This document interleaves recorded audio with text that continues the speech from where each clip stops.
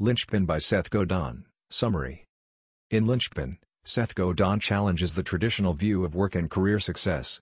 He emphasizes the importance of becoming indispensable by transforming oneself into a linchpin, someone who is essential, unique, and invaluable within an organization. Godin identifies key traits of linchpins, such as creativity, innovation, and the ability to solve complex problems. The book highlights that the industrial age mindset of simply following instructions and being a replaceable part of a machine is outdated. Instead, Godin advocates for emotional labor, putting one's heart and soul into work and creating genuine connections. He encourages readers to embrace their inherent artistic talents, take risks, and overcome the fear of failure and criticism.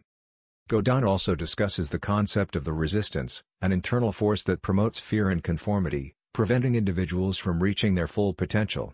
He offers strategies to combat this resistance, including developing a strong personal vision, practicing generosity, and focusing on delivering remarkable results.